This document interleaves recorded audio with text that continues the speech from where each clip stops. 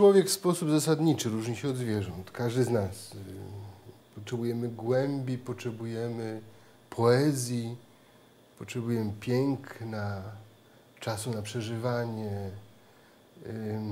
My bardzo niewielką częścią ciała dotykamy ziemi.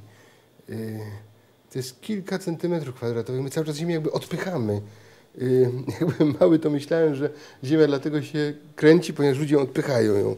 Potem zauważyłem, że chodzą w różne strony, przestało mi się to układać.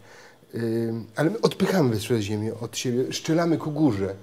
Jak wychodzimy na pole, to widzimy przed sobą horyzont, zawsze na wysokości oczu horyzont. Ta, ta, tą wąską linię spotkania nieba z ziemią, bo to się dzieje w nas. Nas się spotyka to, co ziemskie i to, co niebieskie.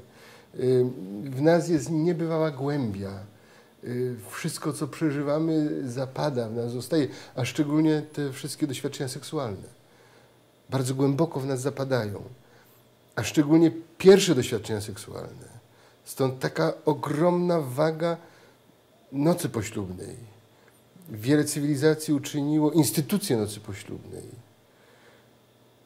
bo to, to zapada, to, to wiemy już, że, że jeśli przy pierwszym współżyciu towarzyszy lęk, obawa, że ktoś wejdzie, że coś się stanie, obawa o to, że zostanie porzucony, porzucona, to to zostaje w nas. Jeśli przy pierwszym spożyciu pojawia się alkohol, to bardzo często u mężczyzn pozostaje pragnienie alkoholu, no, wraca i, i ten człowiek się zmienił, zupełnie, zupełnie kimś innym. Jest abstynentem nawet.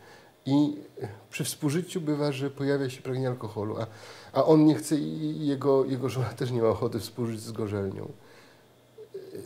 Gdy pojawia się przemoc, to kilkakrotnie przy pierwszych współżyciach to bywa, że u kobiet pozostaje pragnienie przemocy. One się same tego wstydzą, krępują się, nie chcą się przed sobą przyznać. Czasami to zapada gdzieś w podświadomość, ale pozostaje dyskomfort we współżyciu. No oczywiście, znamy terapię, można pójść do terapeuty, można przyjść ale terapia jest bolesna. Terapia też nie jest w pełni skuteczna. Więc po co? Może jednak warto w sposób bardzo delikatny, subtelny zadbać o, o te pierwsze współżycia żeby one były piękne, wolne i prowadziły, do, prowadziły nas w przyszłość. Tak, żeby były otwarte na, na konsekwencje, na dzieci, na potomstwo. Pierwsze współżycia są, są niesłychanie ważne.